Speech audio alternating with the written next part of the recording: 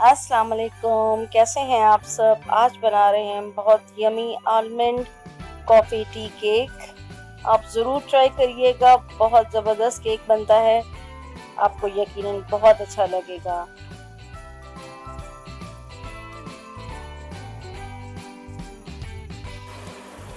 Recipe शुरू करने से पहले आप मेरे चैनल को सब्सक्राइब कर लें।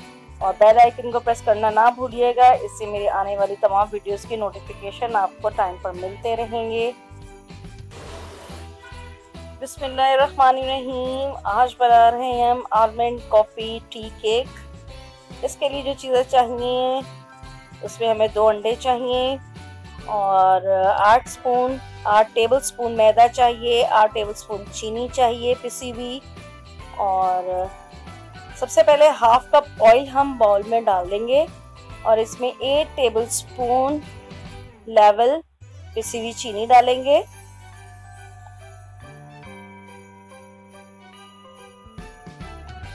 इसके बाद हम इसको इलेक्ट्रिक बीटर से बीट करेंगे।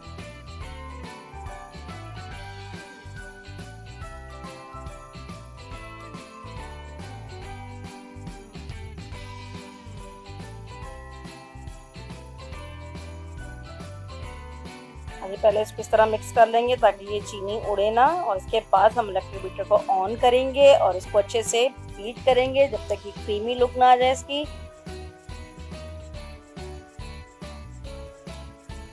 अच्छे से जब बीट हो जाए देखिए कि चीनी अच्छे से मिक्स हो चुकी है तो फिर एक अंडा हम पहले अलग से एक बाउल में तोड़कर फिर इसमें ऐड करेंगे।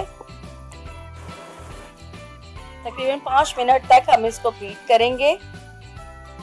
पाँच मिनट के बाद दूसरा अंडा तोड़कर डालेंगे इसी तरह और फिर पाँच मिनट तक इसकी बीटिंग करेंगे।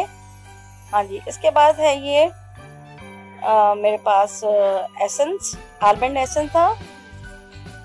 उसके फ्यू ड्रॉप्स मैंने इसमें डाल दिए हैं। फिर इसको अच्छे से बीट करेंगे तकरीबन हम एक मिनट तक। हाँ जी ये देखें हमारा मिक्सचर रेडी हो चुका है।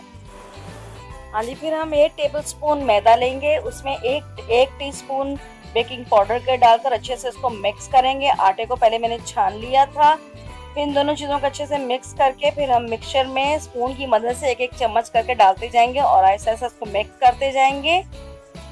इस तरह करके हम सारा मैदा डालकर अपने उसमें एक अच्छा सा मिक्सचर रेडी कर लेंगे।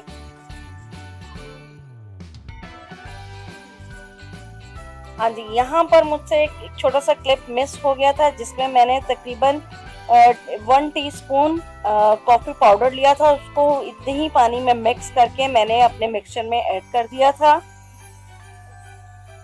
उसको अच्छे से मिक्स करके, अभी हमने इसको ग्रीस पैन में ये सारा अपना मिक्सचर डाल दिया है। पहले मैंने पैन को ऑयलिंग ऑयल लगाया था पैन में और उसके बाद हल्का सा इसमें मैदा लगाकर पूरे इसमें फैला दिया था।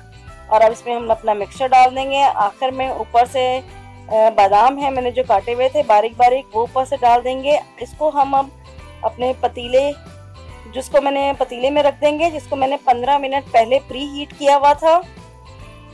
हाँ जी, तकरीबन मैंने इसको थर्टी टू फोर्टी मिनट्स तक मैंने इसको बेक किया था। पतीले में, ये देखिए तकरीबन ये फोर्टी मिनट्स के बाद मैंने चेक किया, हमारा केक बिल्कुल रेडी था।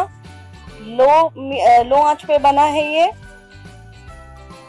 आप चेक कर लीजिएगा कि कितने मिनट में आके पतीले में या स्टोव ओवन में रेडी होता है।